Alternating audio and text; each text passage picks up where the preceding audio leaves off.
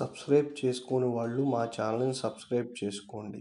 మరిన్ని ఆక్వాకల్చర్కి సంబంధించిన వీడియోస్ కోసం లైక్ చేయండి కామెంట్ చేయండి. నమస్తే అండి.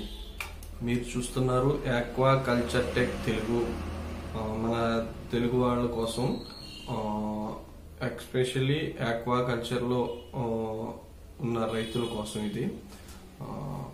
ఈ రోజు నుంచి కూడా మీకు ఆక్వా కల్చర్కి సంబంధించిన వనామీ సాగు గురించి చేపల సాగులో మెలకువలు మరియు ఆక్వాకల్చర్కి సంబంధించి అన్ని రకాల మీకు వీడియోస్ అన్ని కూడా ఈ రోజు నుంచి అప్లోడ్ చేయడం జరుగుతుంది.